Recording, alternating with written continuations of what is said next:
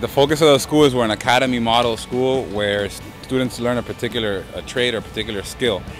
And the goal is for them to pursue these careers after high school.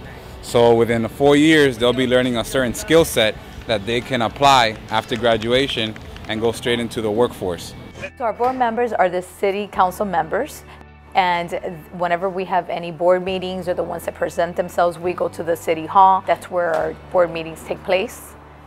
We do have a partnership with the city. All of our academies are for the community, to help out the community. Hialeah Educational Academy began as an experiment uh, five years ago to, to attempt to reduce uh, the numbers of, of, of, kids in our community that were not graduating.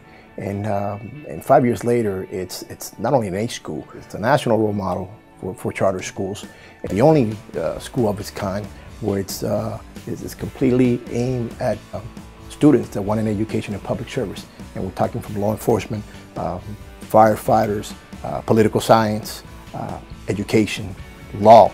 I mean, so it's, it's an incredible, this experiment uh, that started as a way to, uh, uh, to, to increase the rate of graduation in our city has become uh, an incredible success. And we're very proud of Hialeah Educational Academy. We have a true partnership between the city and the school.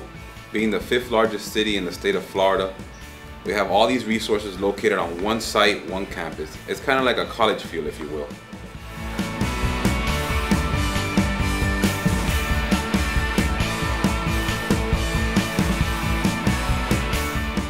It's technology rich. We have a full academic program, an accelerated academic program, an athletic program. Everything's located in one campus, in one location. It's all intertwined in one site.